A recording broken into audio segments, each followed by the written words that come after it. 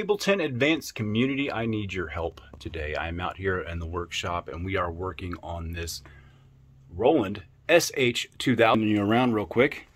Check out this beautiful machine right here. But we have an issue and it needs help and I need help with somebody out there who knows a little bit more about what they're doing. Um, I'm a boat mechanic, so I like DC uh, cars and things like that. I'm very comfortable with.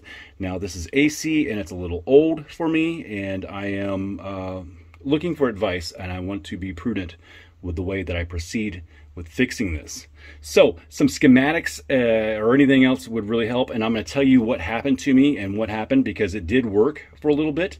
I think I used this thing twice. And the second time I was playing with it, um, it stopped working and I noticed some smoke coming out of the back. So upon opening it, we can see, let me get my light in here a little bit here now. And we can see it kind of like melted a little bit. I did blow a fuse. Now I've replaced that fuse because uh, you know I have fuses.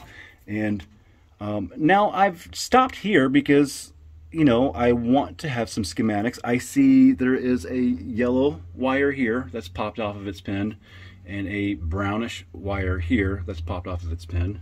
I have some um, some tails of maybe where they go. Like that one definitely held one, and I'm thinking maybe this one here probably held one.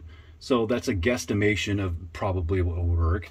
And then I would just guess that maybe this would kind of come in here and I would reattach these uh, accordingly um, with looking up of where they go. Uh, I'll look up the old uh, schematics. I mean, the, uh, the three wires shouldn't be that hard to figure out.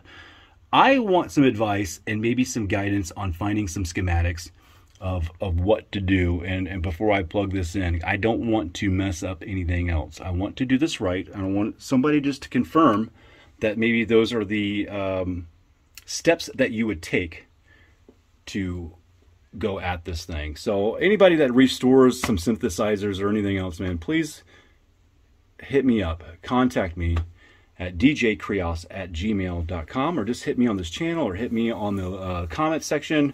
I'll work with you guys. I need some help. This thing is so cool. I want it to work. I know that it's there. I know something happened. The fuse uh, did its job, hopefully.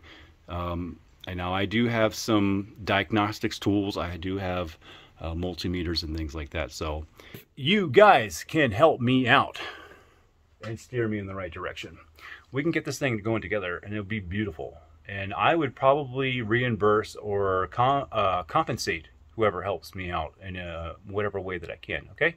Thank you. Hit that like and subscribe. And please contact me about this beautiful piece of machinery that should be working.